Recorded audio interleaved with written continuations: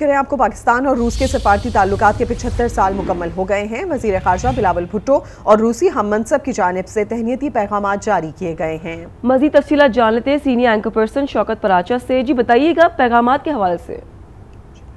پاکستان اور روس کے درمیان سفارتی تعلقات کی آج پچہترویں سالگرہ ہے۔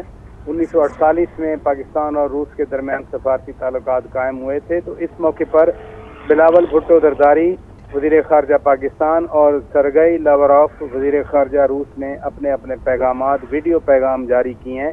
روسی وزیر خارجہ نے تو یہاں تک کہا ہے کہ روس کی روایتی اخلاقیات میں قاجہ محمد علی جناح کا یونٹی فیتھ ڈسپلن والے اصولوں کے لیے مکمل ہم آہنگی ہے۔ یعنی روس کی جو روایات ہیں، اخلاقیات ہیں، وہ بھی انہی اصولوں کے اراؤنڈ ہم آہنگی رکھتی ہیں۔ ساتھ ساتھ بلاول بھٹو درداری نے ایک تو روسی صدر پیوٹن کا شکریہ ادا کیا، روسی قیادت کا شکریہ ادا کیا کہ پاکستان کے ساتھ تعلقات کے فروغ کے لیے وہ اپنا کردار ادا کر رہے ہیں۔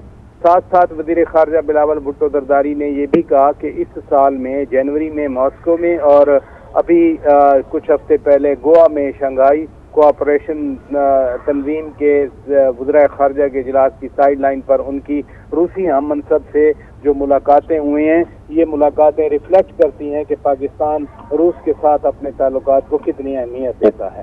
شوکت پراشا بہت شکریہ اپڈیٹ کرنے کے لیے۔